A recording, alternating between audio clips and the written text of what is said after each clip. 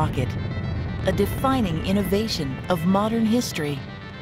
It signifies men's dreams of stretching the limits of possibility, defying our earthly bounds, and blasting up toward the heavens.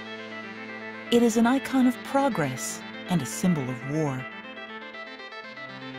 The creator of the world's most powerful rocket lived a life with a trajectory similar to his invention.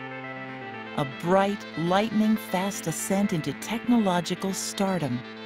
A blazing, brilliant career. And in the end, a fall to Earth.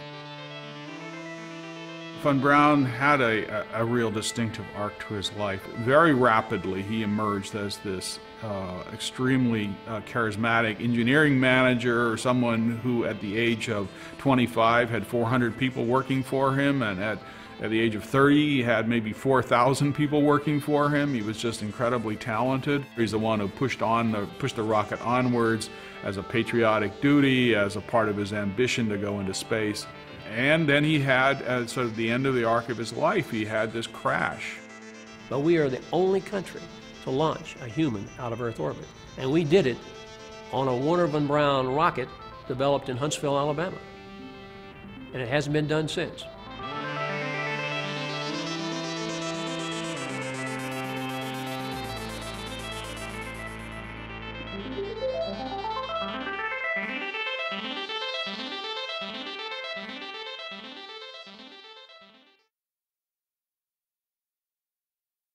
To say Huntsville, Alabama in 1940 was sleepy would be like declaring it was hot in the summer.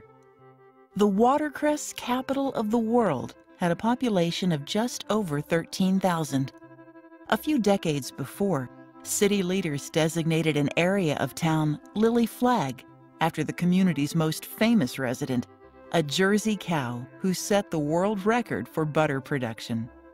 Lily Flagg came to represent the ambition of the town in many ways. Lily Flagg was the center of parties, and Lily Flagg was buried with, uh, with honors. Tenant farmers, many of whom were descendants of slaves, grew cotton in the surrounding fields of Madison County. Running water and electricity were mostly luxuries. Then came World War II. Alabamians plunged themselves into the war effort, 300,000 Alabama men enlisted in the military. Over 6,000 died in battle. The war also brought a boon to the Cotton State.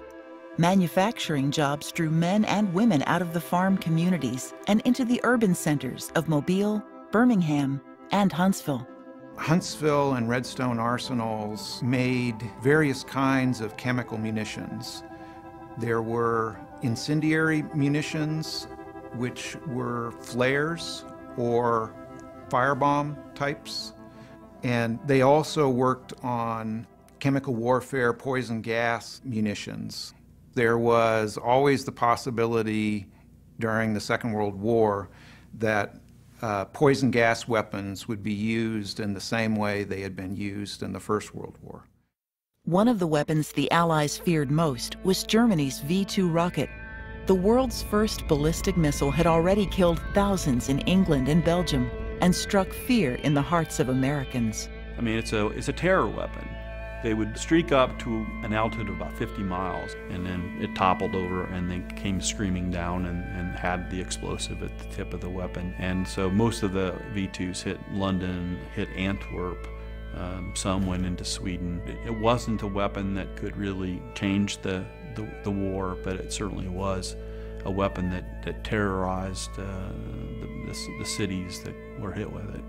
The V-2's chief creator was Wernher von Braun, a young man from Prussian nobility who dreamed not of war, but of space.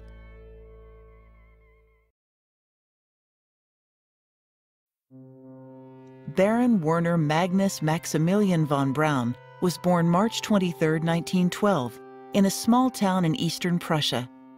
His parents were loyal members of the aristocracy, and throughout von Braun's childhood, their region of Eastern Europe was in nearly constant flux. He was raised, uh, you know, very conservatively in terms of politics and in, in, assumptions about the society.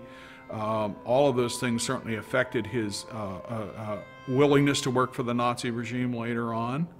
Uh, on the other hand, he also seemed to have this inner drive towards technology, which, uh, which was an unusual choice for the son of a Prussian aristocrat. The 1920s in, in Germany, Weimar Germany, was a time when there was a lot of enthusiasm for technology generally and for the possibilities of spaceflight, and it, it provides the immediate context of enthusiasm which really sparks the imagination of the young von Braun. Specifically for von Braun, it was the discovery of the book by the German language pioneer Hermann Oberth, The Rocket in Interplanetary Space in 1923. Von Braun discovered the book as a schoolboy at the end of 1925 or the beginning of 1926 and became absolutely infatuated with the idea of space travel. Von Braun's obsession with space consumed him. Once a mediocre student who failed at math and physics, he now excelled in whatever subjects would lead him out of Earth's atmosphere. By the 1930s, he was active in an amateur rocket group in Berlin. Their progress toward a long-range liquid-fueled rocket soon caught the eye of the rising Third Reich. I mean, the German army had been restricted in a lot of ways by the Versailles Treaty that ended World War I. Specific weapons, specific sizes of armies and navies were, were specified. But new weapons, you know, the treaty couldn't they didn't know about what the new weapons would be, and so there were, had been no particular stipulations against the development of, of, rockets. So the German army, once they get wind of what von Braun and some of these other amateur rocket groups are doing in the early 30s, they realize that there is, you know, there could be some significant military potential. The handsome young von Braun's incurable enthusiasm and unadulterated charm paired well with his passion for rockets.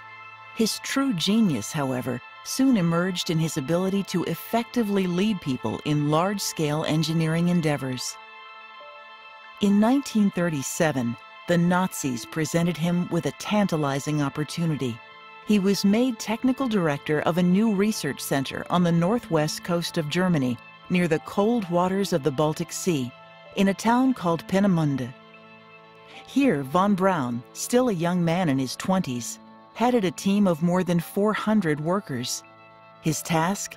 To turn his amateur rocket technology into genuine weapons of warfare. Of course, you know, they'd been working on a shoestring, uh, and now all of a sudden, all of this money and, and big facilities are, are available to them. You know, World War II is still some time away, and, and von Braun, you know, to his dying day, you know, always, always stressed that what he was after was rockets for the purposes of going to the moon and exploring space. Um, just so happened, you know, Nazi Germany intervened and Adolf Hitler was there, and World War II happened, and the work of von Braun and, the, and these other rocket uh, experts uh, became part of the Nazi war machine. It was right after that opening of Peenemünde, towards the later in 37, that that uh, Nazi Party uh, officials approached him and several other uh, leading members of the rocket group and said, you, you, you, we'd like you to join the party. It sort of rapidly became obvious that it really wasn't a choice, that they really needed to join. As the war escalated, Wernher von Braun's involvement with the Nazis deepened. His infamous V-2 rocket was now ready for production at a secret underground factory in central Germany named Mittelwerk. But the German military needed manpower to produce the V-2s at a time when most German men were fighting on the front lines of the war. There was, you know, a lot of foreign workers in Nazi Germany, and there were also the SS concentration camps. And once concentration camp labor was brought to the Mittelwerk, it, it became the mainstay of the production force, and the conditions were a disaster, and von Braun was a direct witness to the conditions.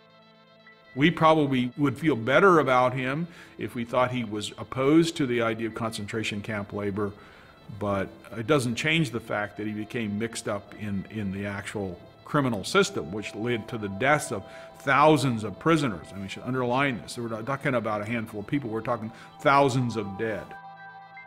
remember I was a very young man in Germany, and I was so busy with my rockets that maybe in retrospect I sometimes wonder whether I shouldn't have worried a little more about some of these aspects. And as I grew older, of course, and I saw the ramifications, of course, also the suffering that's involved, uh, you, uh, you uh, rethink some of these things.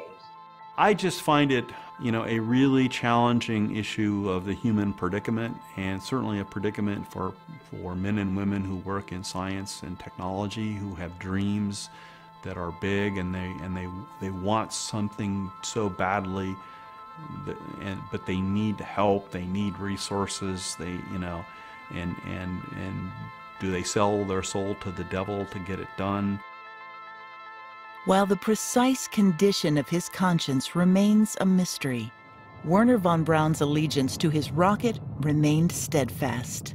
He was fascinated by space travel, and in fact, the root of his Faustian bargain was an ambition to go to the moon personally, to, to fly into space, to land on the moon, to be the first person to, to go to the moon.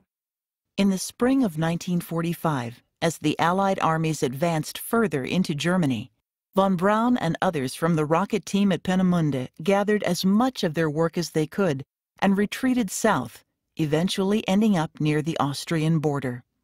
Now, we could very well have stayed at our former experimental station in eastern Germany and just waited for the Russian army to come in, but we elected uh, really by taking a vote uh, to move west instead and uh, get rolled over by the American army because we wanted to ultimately wind up in America, given this choice.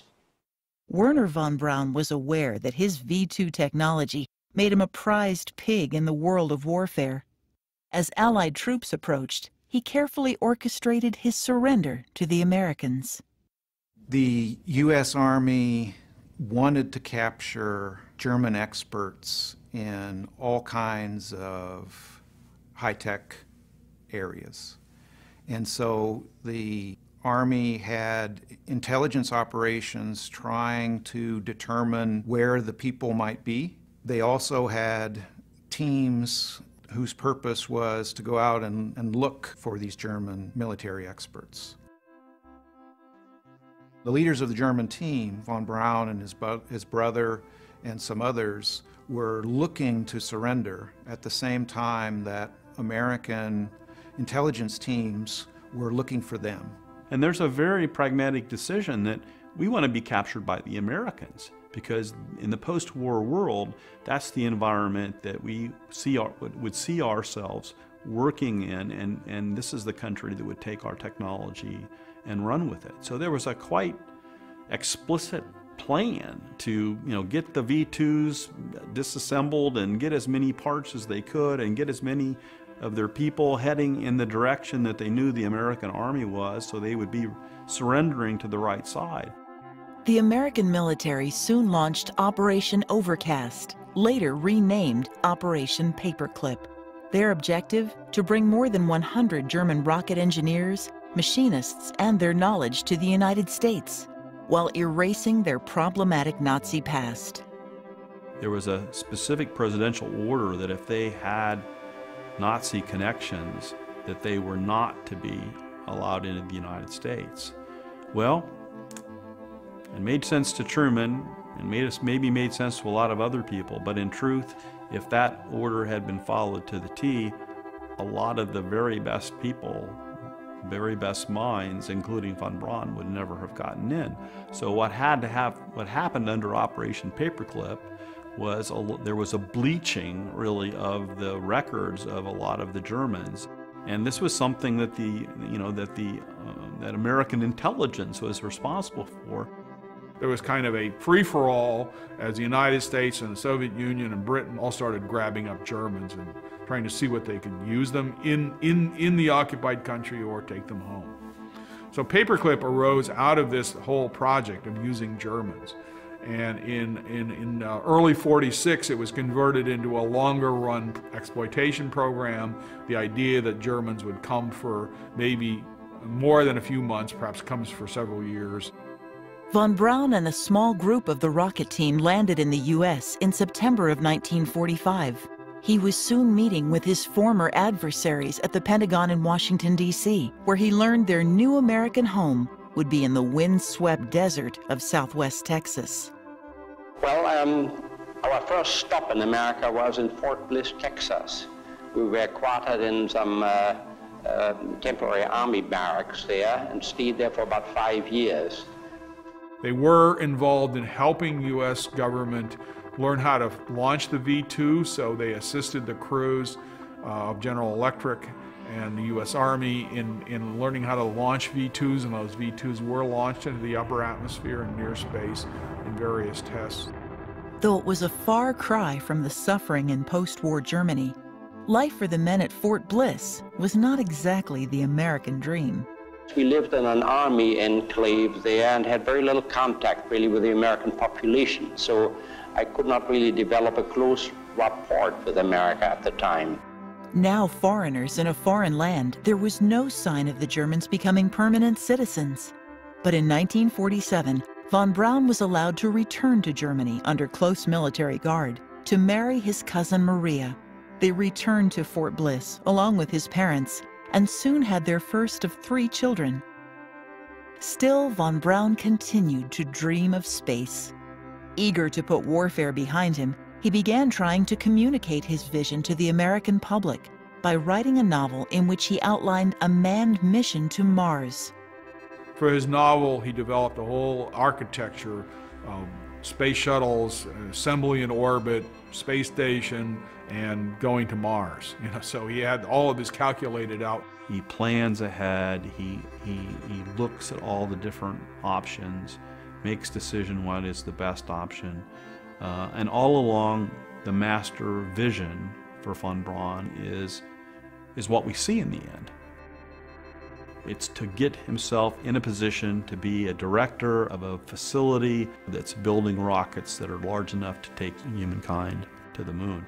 And if it means building a few more military weapons along the way, all of that's being done because von Braun knows that if things push far enough, you know, that eventually these are going to be, the country's going to want space boosters. And that's, you know, that's really what he had in mind.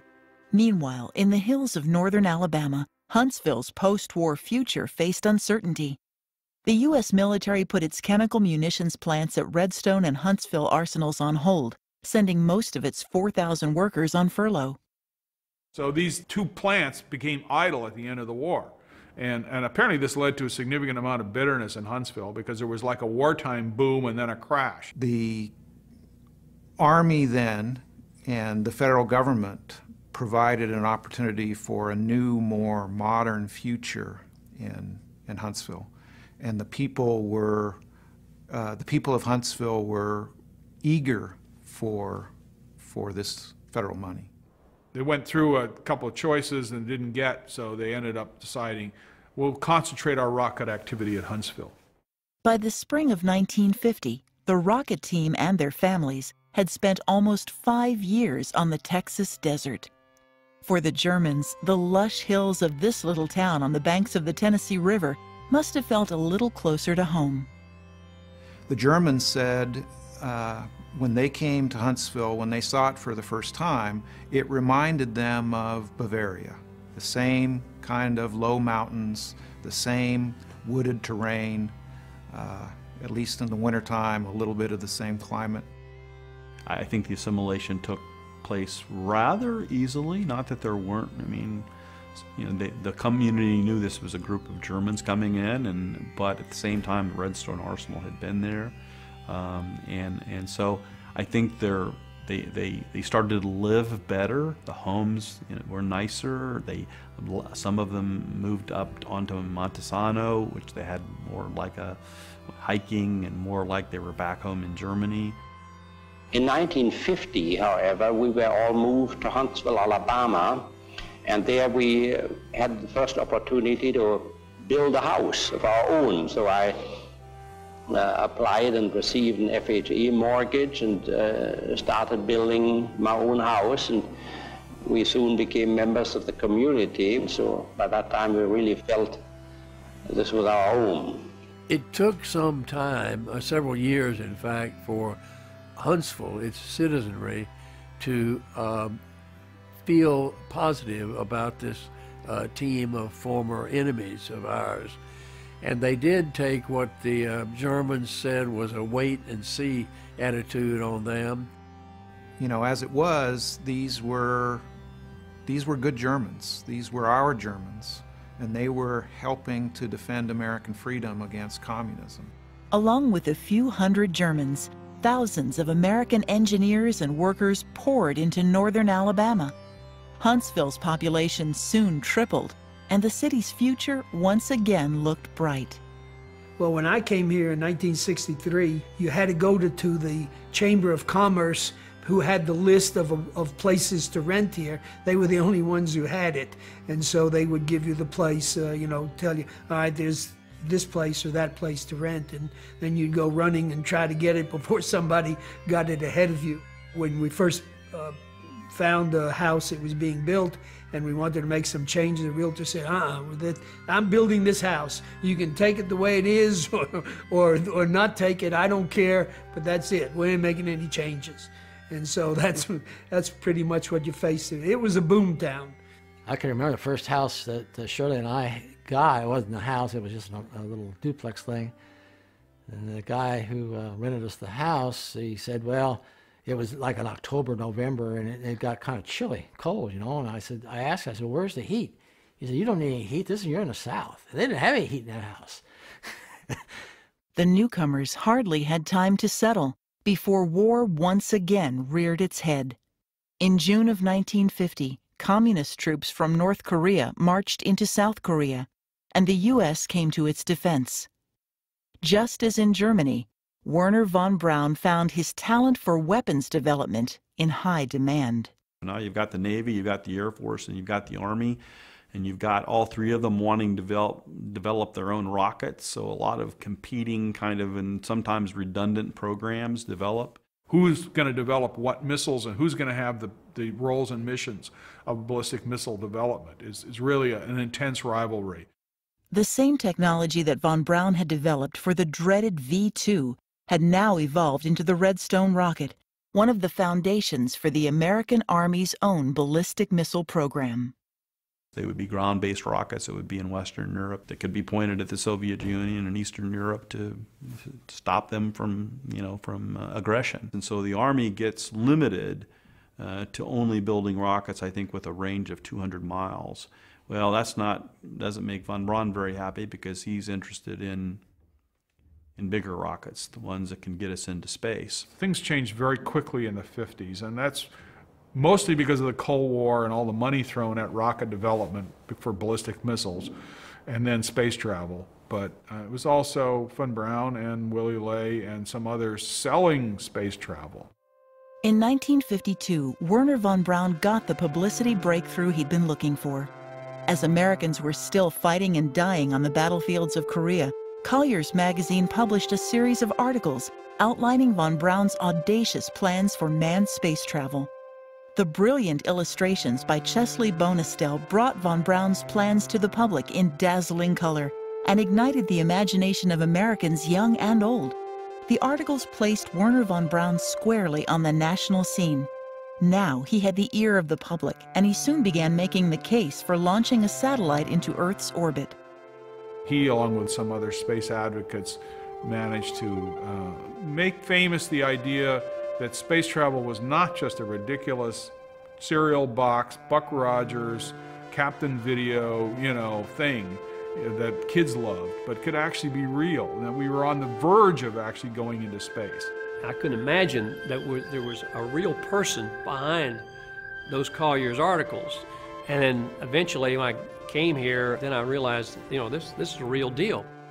In April of 1955, just shy of a decade after his surrender, the United States granted full citizenship to Wernher von Braun. He became an American citizen in the mid 50s, and there was no doubt in his mind that he was an American and his team were Americans, and they were proud of it. These guys were, were Americans, they were Alabama people. They were, they were part of our team.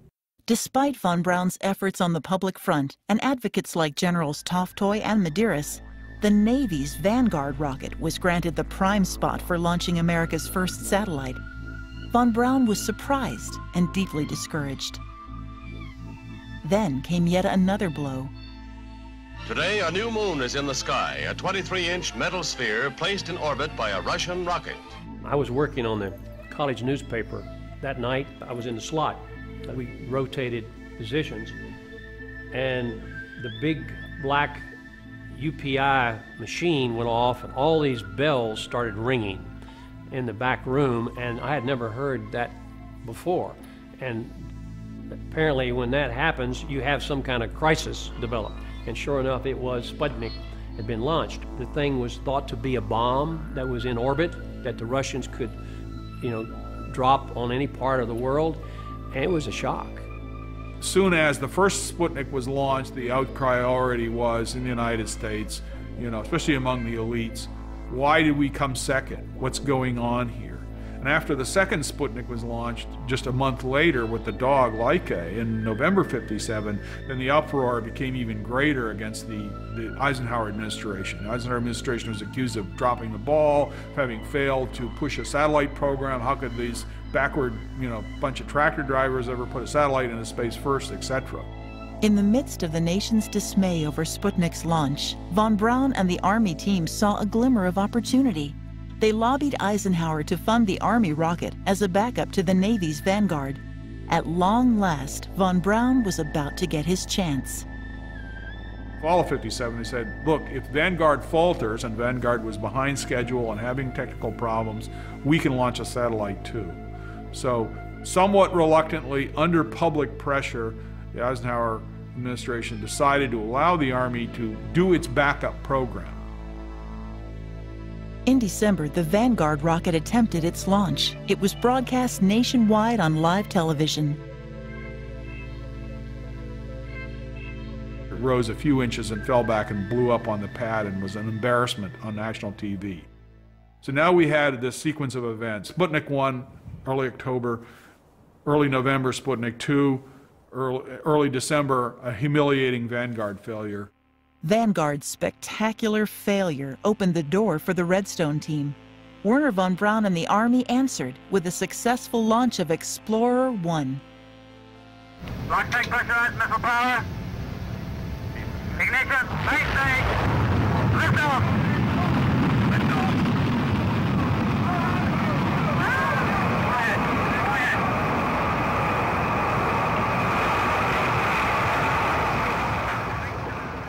was launched on the night of January 31, 1958. Suddenly, von Braun was not only a famous man, but also increasingly a national hero. The space race had begun, and Wernher von Braun was leading the charge against the Soviets. I'm convinced that the Russian concept, that's as demonstrated by Sputnik number two carrying this animal, the uh, consider the control of space around the Earth very much like, uh, shall we say, the great maritime powers considered the control of the seas in the 16th to the 18th century. And uh, they say if we want to control this planet, we have to control the space around it. In the summer of 1958, with Congress's urging, President Eisenhower relented his hardline budgetary restraints and signed the National Aeronautics and Space Act. With it, NASA was born an agency dedicated to the peaceful and scientific exploration of space. By 1960, the German team had officially transferred to the new civilian space agency. For the first time in his career, Wernher von Braun stopped making weapons and was finally able to turn his full attention to space. we start, we start off with a small missile team, but it grew into you know, several thousand in the 50s. And by 19 58, 1960 time frame, 4,000 of those engineers, led by von Braun, transferred to the new space agency called NASA.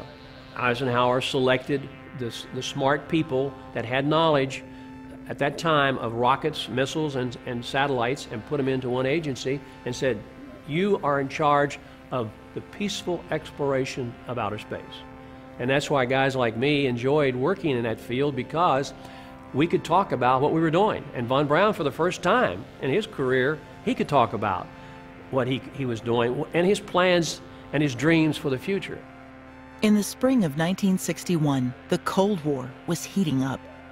On April 12th, Soviet cosmonaut Yuri Gagarin became the first human to enter Earth's orbit.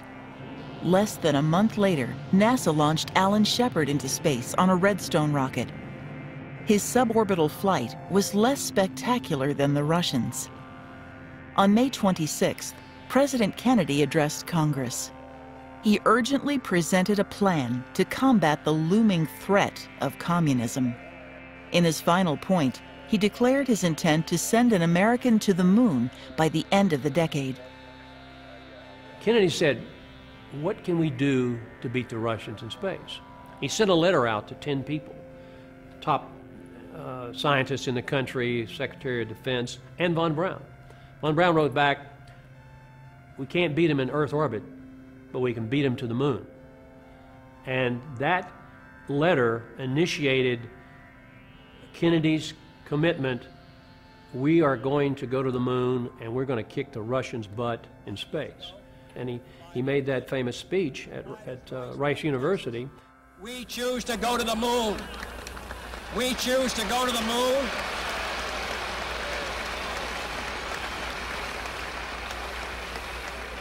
We choose to go to the moon in this decade and do the other things, not because they are easy, but because they are hard.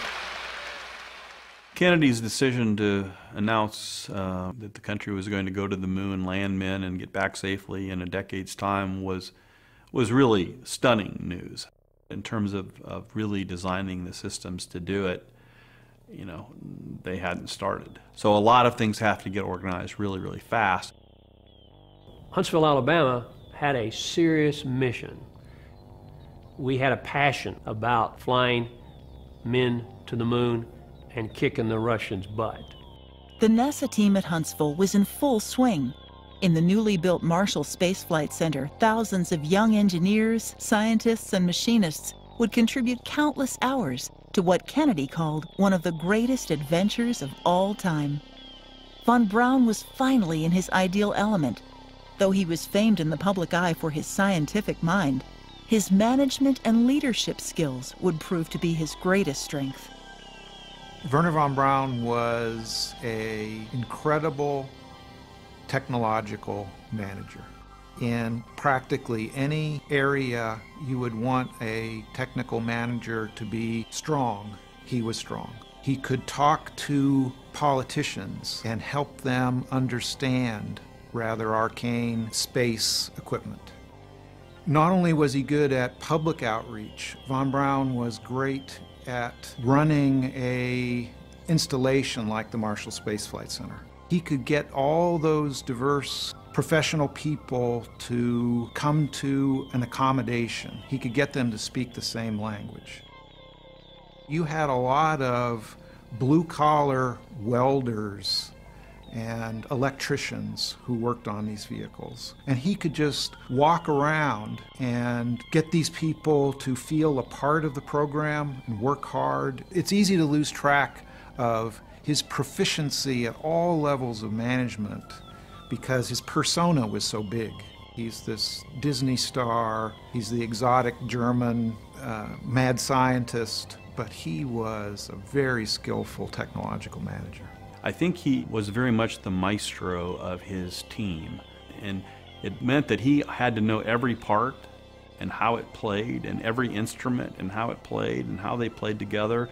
But it also meant the symphony can't play unless it's got funding and it needs to have a, a symphonic hall and it needs to have public relations to have an audience. And, you know, Von Braun had all of, all of that. He seldom lost a member of the team to industry. And I can assure you, these guys could have been made, making big money in the 60s working for private companies versus what they were doing, earning from the government. Well, they knew if they wanted to work in an exciting field, they had need to stay with von Braun's team. As he took on the monumental task of getting a man to the moon, von Braun never forgot his audience. Ever charming and eloquent, he played consistently to the national media and the political powers in Washington. First time we had a, stat a static firing for a bunch of VIPs, everybody was in the blockhouse. And we said, well, sir, they, they didn't feel it. They were in the blockhouse where everybody else was, and they, they didn't experience it. Von Braun looked at it and says, put them on the roof the next time. And when that thing lit off, the, the noise was just horrific. Horrific. Man, it made a tremendous noise. The, the exhaust gas came flying out of that trench, and it created such a suction. It sucked up the road that was on the other end of the trench. And just, we saw, I saw the asphalt just flying.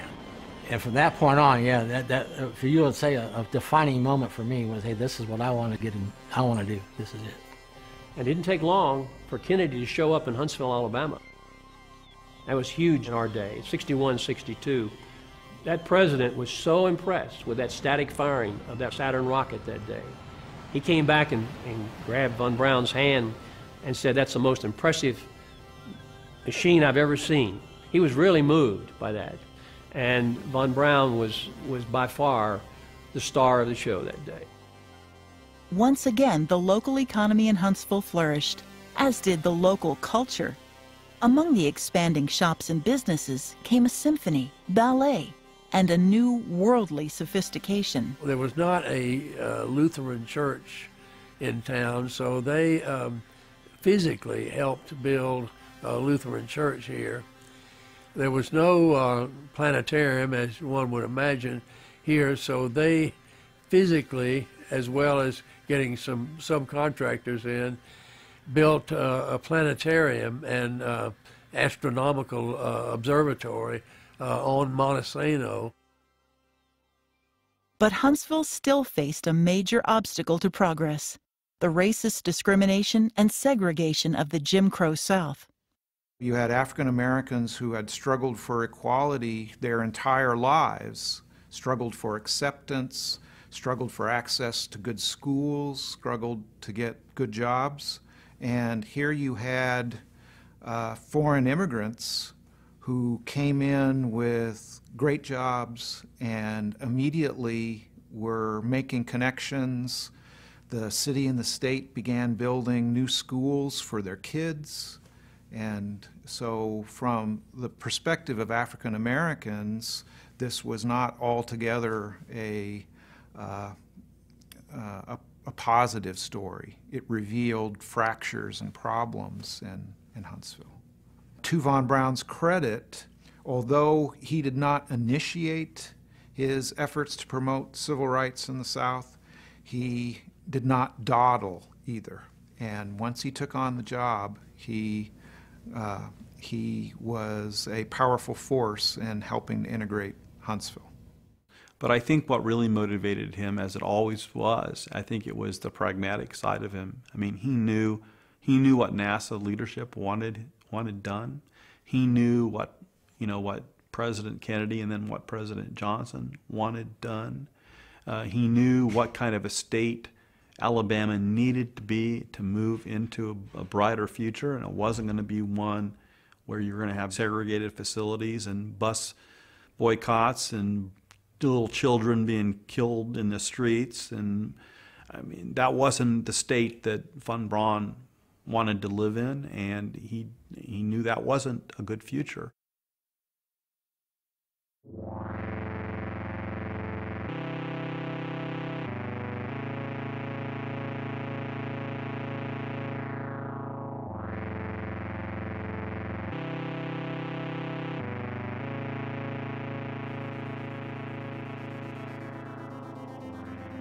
Named for the Greek god of the sun, Apollo was the only manned space program to ever reach beyond Earth's lower orbit.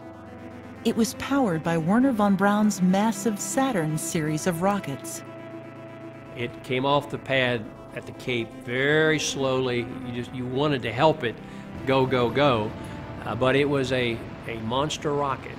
Uh, you know, compared to the Redstone, it was a monster. But it, it successfully uh, flew a, a couple times unmanned.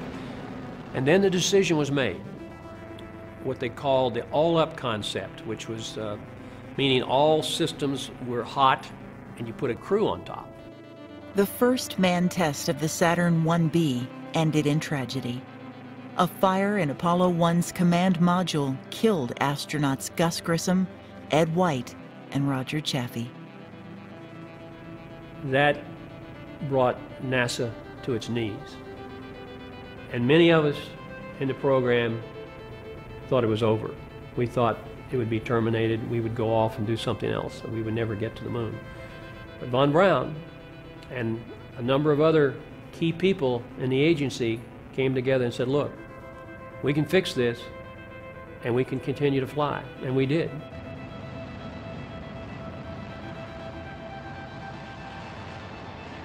After successful testing of the 34-story Saturn V, the largest and most powerful rocket ever built, NASA launched Apollo 8. It narrowly beat the Soviets, putting the program back on track, and made history by propelling Jim Lovell, Frank Borman, and William Anders on mankind's first ever trip around the moon. As President Kennedy's deadline approached, both the U.S. and the Soviet Union appeared to have a moon landing in sight. We had three news releases prepared in those days. One, all three astronauts returned safely. Second release, one astronaut returned safely, two are stranded on the moon. Third release, no astronaut returns, all stranded either on the moon or in lunar orbit. And those news releases were prepared and briefed all the way to the White House. And, and von Braun would remind us of that, that you really don't feel comfortable until splashdown.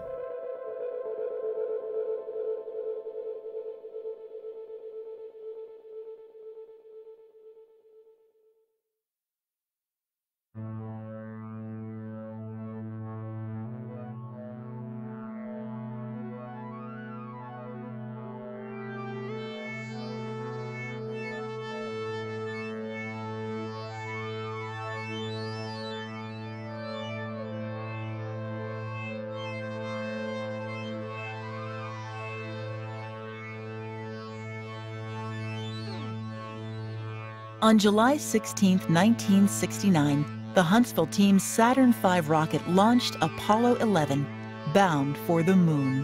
Ignition sequence starts. Six, five, four, three, two, one, zero. All engine running. Liftoff. We have a liftoff. 32 minutes past the hour. Liftoff on Apollo 11. Tower cleared. Okay, we got a roll program. It was huge celebrations uh, all over all over the city. Uh, I think uh, it was the event that all of us uh, looked upon as, as being a culmination of eight years of working hard every day.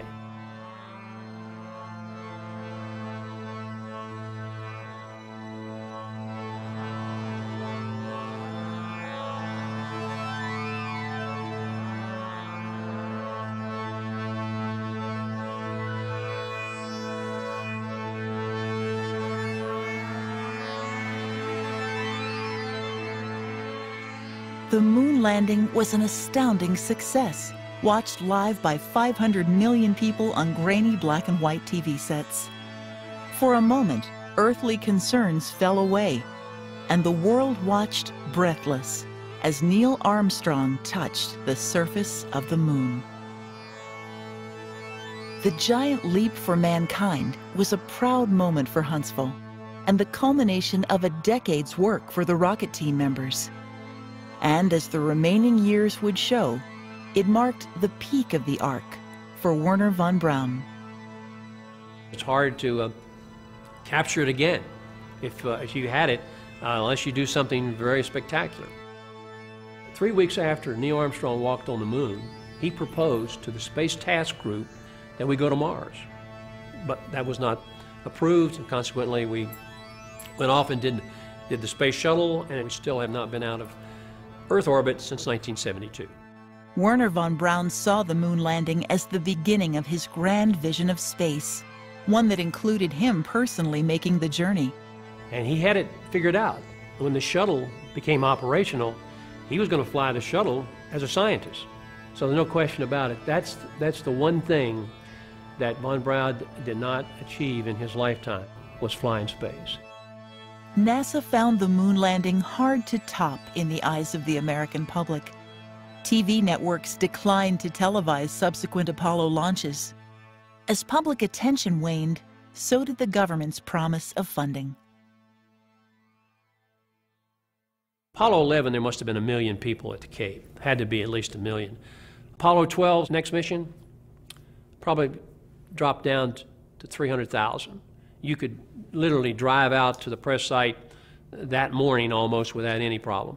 It just changed almost overnight the interest that the public had in the space program. Another part of it is uh, a lot of people say, oh, "We've gone to the moon. That's it. We don't need to do that. We, we there wasn't the streets of the moon were not paved with gold. Why do we need to go again? We're not doing anything."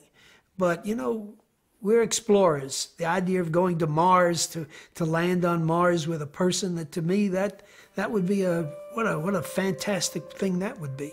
But a lot of people don't feel that way. Oh, we got problems here on Earth, you know. In 1970, after 20 years in Huntsville, Wernher von Braun was transferred to NASA headquarters in Washington, D.C. The city bade him an emotional farewell. We all realize that the first lunar landing will be a hard act to follow. There's only one moon, and I'm afraid we can't offer many more spectaculars like that in the years to come. The interest and the attention of the space program will now be turned to put all that new capability to use for Earth-related applications for the benefit of man, for the benefit of the taxpayer and his less favored brother in underdeveloped and hungry countries. That is what I will pay my attention to in the years to come in Washington. I think um, a number of us were uh, were upset that uh, that NASA headquarters pulled him out of here. It became obvious to even us grunts that uh, NASA headquarters' idea was that they wanted to dissolve the German leadership of that. It was a sad day. Uh, it's no, no other way to describe it. It was a sad day for the community. Uh, he had he had been so such an important part of Huntsville's growth. And that's why they named the Civic Center after him, and all the uh, many other things that were done have been done since. It was a it was a huge loss for the community. Von Braun soon grew frustrated with the bureaucracies of Washington and found his ideas at odds with an increasingly defunded NASA. I don't think von Braun was disillusioned with NASA as such, but he was disillusioned by the lack, the public's turning on a dime and becoming uninterested in, in big space programs as soon as Apollo was over. This was a bitter pill for him and all the space advocates to, to swallow in the 70s because they had always predicated their belief that if we start going, we just inevitably must go on and we will continue to have a giant program and continue to go all the way to Mars and so forth. In 1972, von Braun entered the corporate world that had long courted him. At Fairchild Industries, he helped develop satellite and aerospace technologies. A little over a year later, von Braun learned he had cancer. Despite his declining health, he continued advocating for manned exploration of space.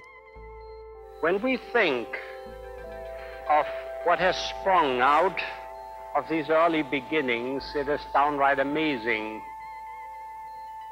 we not only flew Americans to the moon, we also established quite a number of satellites that benefit mankind in a very direct way. One of the most exciting of them probably is the Large Space Telescope, a telescope that will enable astronomers to look about 10 times as deeply into space as the big telescope on Mount Palomar. Some people have said we can look so deep into space with that space telescope in orbit that we may be able to see the hand of the Maker. Dr. Wernher von Braun died June 16, 1977, at the age of 65. His simple headstone lists beneath his name Psalms 19:1. The heavens declare the glory of God, and the firmament showeth his handiwork. He's, he's a complicated person, and that's what makes him fascinating. I think. His, his legacy is not simple. On the one hand, he's, he is a technologically, scientifically really important person. On the other hand, you just can't forget about the compromises that he made in the Third Reich. There's a fascinating story that it's uh, a story with black and white and some pointy, hard things that you have to have to deal with, both as a, a student of the past and as a citizen in, in a technological republic. It's hard to believe the huge influence that he had on the program, on the thing, and in inspiring people. Not so much that he necessarily designed anything, but he inspired the people in his design. I mean, again, that's why it's important to consider to see him as the maestro. The maestro has, he doesn't play the instrument, he's just doing all of the orchestration. But to do it well, he's got to understand how all of this works and how people have to work together. And I think that's why people in Huntsville have such a love and admiration for him because they saw him in this maestro in this maestro role. Wernher von Braun's impact persists in the U.S. space program today. From the International Space Station to NASA's new Space Launch System, the ideas, techniques, and technology that he and his team developed decades ago continue to shape the way we explore space. Among his monumental legacies, von Braun left his mark on Huntsville as well. The U.S. Space and Rocket Center continues to thrive as a public museum and stands as a perpetual reminder of von Braun's grand vision. And through programs like Space Camp, von Braun's work continues to inspire America's youth. He liked to talk about the next generation.